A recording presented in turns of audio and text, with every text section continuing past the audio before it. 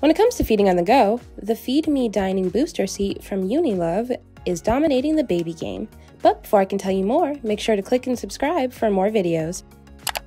The seat can be used for feeding, a portable travel seat on the go, or a transitional seat to graduate to safe, independent sitting. We travel for vacation and to go to families' houses, so having a booster seat that can travel well is a must. Riley just started eating solids, so we need to have a high chair to put him in at a moment's notice. The steel alloy frame supports up to 3 years or 33 pounds, whichever comes first. The Unilove Feed Me Dining Booster seat has a patented four level height that you can adjust with just one hand.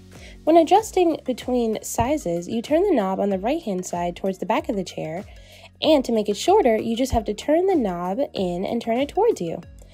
The hearts on the frame indicate a size change. Make sure that everything is clicked into place before putting the child in the seat. The Z shaped frame allows for maximum stability and safety. It has a three point harness, clear safety bar, anti slip feet, and a child proof lock tray. The swivel style tray comes with a removable cover that snaps off and is incredibly easy to clean. The removable tray is heat resistant, dishwasher safe, and FDA approved. The soft padded seat is also easy to clean either by wiping it or putting in the washing machine. The seat comes in four different colors gray, pink, black, and tan. Now it's time for the pros and cons. The pros it's travel friendly, grows with your child, and is easy to clean.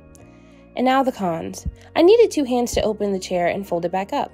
It made it hard to hold Riley while folding it up since he's 100% not sitting on his own. So just be in mind if your baby is not sitting on their own.